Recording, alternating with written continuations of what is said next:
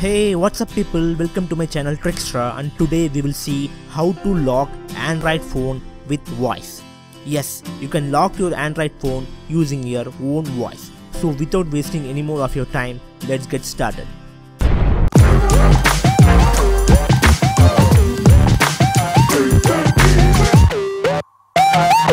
First go to your phone and tap on Play Store and search for screen off unlock. Now download this application on your mobile phone. It's not even 1 MB so it will download within a matter of seconds.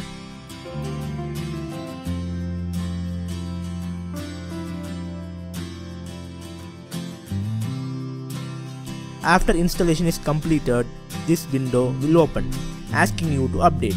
Don't give the update option. Just click on OK and now search that application on your mobile phone and open it. Now in order to activate this application you have to enter the text which is shown in this window. After that click on activate. Now one part is complete.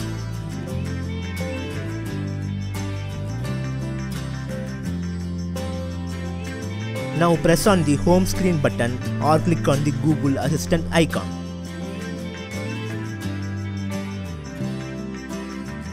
Now click on the settings option.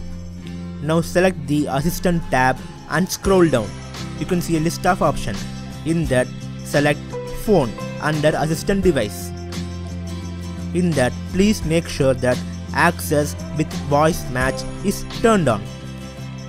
After that come back to the previous window and select the routine option. Now click the add a routine button and select add commands. Now type lock my phone in the display text box and click on OK.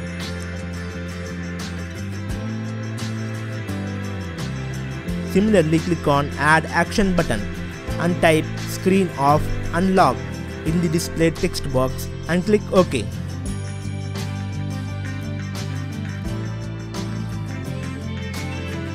After these two changes, has been completed, click on the save button.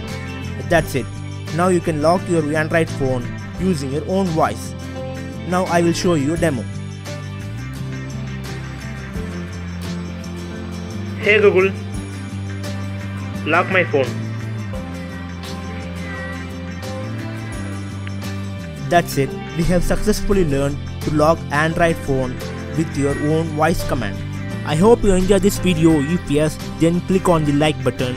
If this method works for you, then type that in the comment box. Or if you have any queries, feel free to post that in the comment as well. And share this video if possible. We really need your support to grow. So subscribers for more videos. And thank you. Have a great and awesome day.